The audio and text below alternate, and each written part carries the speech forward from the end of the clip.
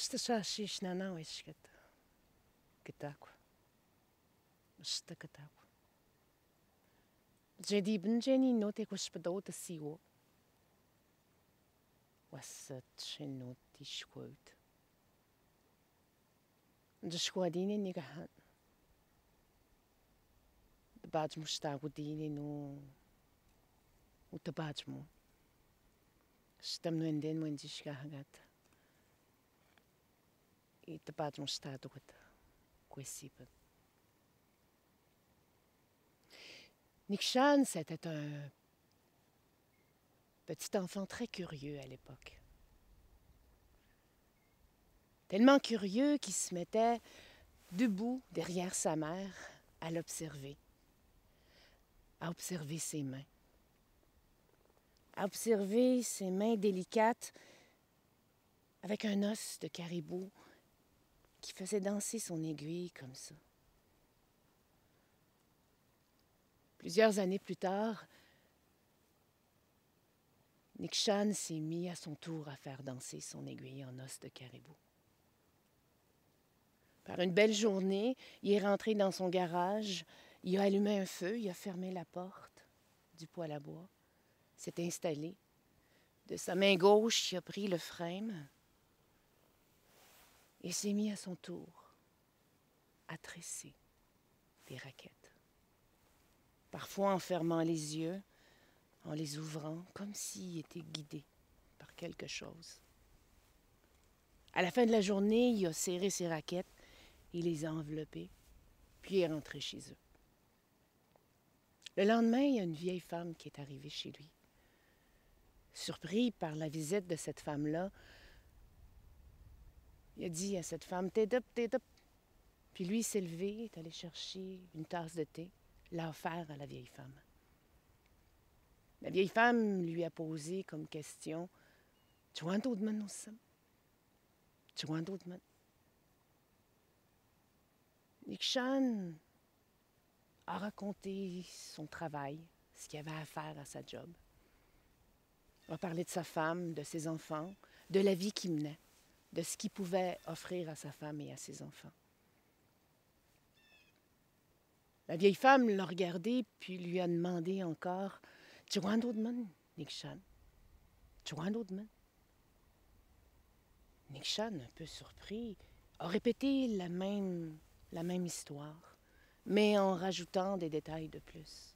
La femme a pris un long silence, a bu son thé, puis l'a regardé droit dans les yeux. Nikshan, Joan Dodman. Joan Dodman, nous sommes. Un peu mal à l'aise, Nick Chan se demandait bien comment cette femme-là pouvait savoir ce que lui était en train de faire. Puis lui a raconté Mais je comprends pas pourquoi il me reste trois brins. La femme, après un long soupir, a dit Va voir ces trois femmes-là termine avec Mathieu. Le lendemain matin, Nick Chan est allé rencontrer la première, Knishte.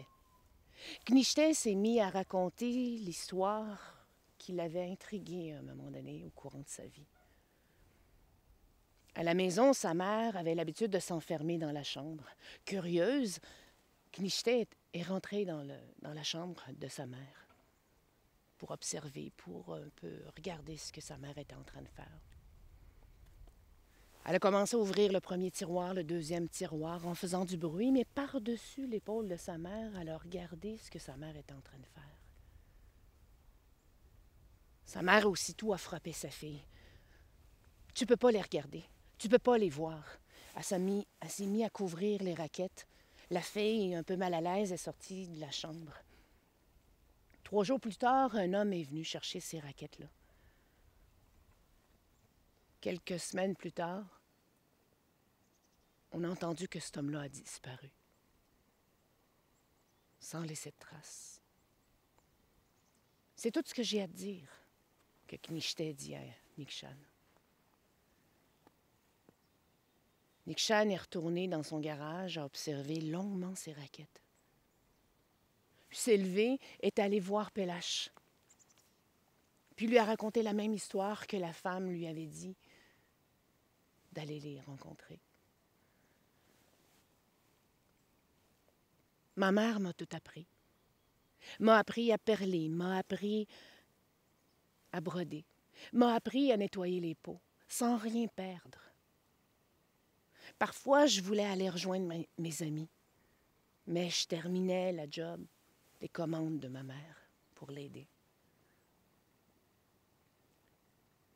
Il existe des femmes, des tresseuses de raquettes, qui font ce genre de tressage que tu viens de faire.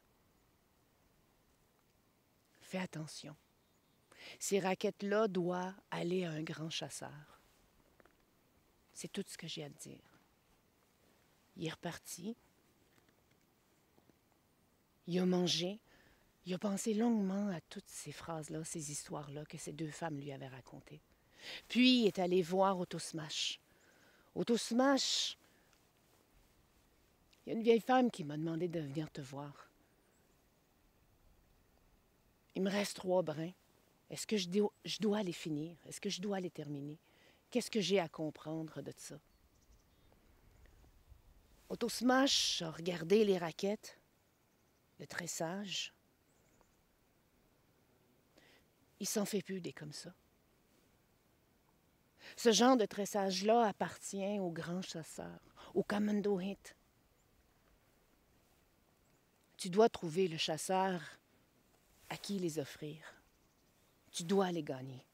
Et ce chasseur doit être en respect avec le monde des esprits et ce qui l'entoure sur la terre. Certaines femmes disparaissaient parce que les intentions n'étaient pas bonnes. Comme les chasseurs. Fais attention. Fais attention, Nick Il pourrait aussi t'arriver malheur. Apeuré, Nick Chan s'en est retourné chez eux, il a appelé son ami, puis il a dit On m'a demandé d'aller voir Mathieu. On raconte que Mathieu était un grand chasseur, en connexion avec le monde des esprits. Il pouvait lire à travers les eaux, il pouvait lire à travers les fleurs, il pouvait lire à travers la peau de caribou. Est-ce que tu voudrais venir avec moi? Son ami a accepté, sont allés rencontrer Mathieu. En arrivant chez Mathieu, Mathieu est arrivé dans la cuisine d'un pas lent, a dit à ces deux hommes-là Bonjour, jeune homme. Si vous venez ici, c'est parce que vous venez chercher une parole ou une réponse. Comment puis-je vous aider? Nick Chan a sorti les raquettes, les a données à Mathieu. Il me reste trois brins. Je comprends pas pourquoi il me reste trois brins. Je suis allé rencontrer Knichte, Pelache, Autosmash. Ils m'ont tous raconté des histoires, mais je ne comprends pas qu'est-ce que je dois faire. Nick Chan s'est mis à regarder le tressage en lui disant Ça se fait plus maintenant. Ils n'ont plus la même force qu'avant. Si tu les termines, tu dois les offrir un grand chasseur qui est en lien, en communication avec la forêt.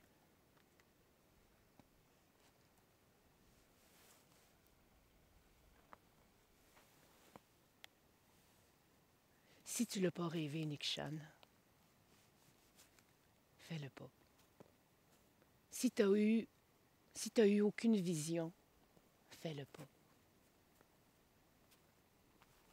Il est retourné chez eux. Il a mangé son souper assez vite pour s'en retourner dans son garage. Sa femme m'a dit non, non, non, non, non, faut aller faire l'épicerie. Fait qu'ils sont partis en ville en amenant leur petite fille. Arrivée en ville, la petite fille tombe subitement malade.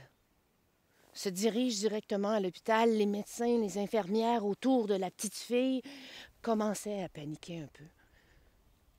Nick Chan s'est rappelé, s'est rappelé d'une phrase d'une de ses femmes. A regardé sa femme, a dit Je reviens tantôt. Je, faut que j'aille à la maison, je vais revenir tantôt. Fait qu'il est parti. Il est arrivé dans son garage, il a commencé à détresser ses raquettes. Puis il est retourné à l'hôpital. En entrant dans l'hôpital, il rencontre le médecin. Le médecin lui dit Oh, on a eu peur. On a eu vraiment peur. Mais tout va bien maintenant. Ta fille est en santé. Ta fille va vivre. Au même moment, il s'est rappelé d'une phrase de son père que Mathieu lui avait dit. Si tu l'as pas rêvé, fais-le pas. Tu me maintenant. Aucun échappé tout à me tu chouette me Chemando nenesh gamo menuenu ya Miamnen manem wenjish jesmi Kawina Katja Dagoman. Në shtesh në shime, shkëm që shuk në menu ata. Që ma cënë këtë, në të më ndetit në dit ata. Nuk kam që në shkëm të shatë. Sen aşkımdan geçmişmen tutuyat. Nu kem nişa petu apmem teşvenemet Çemendu nen aşkımau benvenuyan Çemendu nen aşkımau Anyway.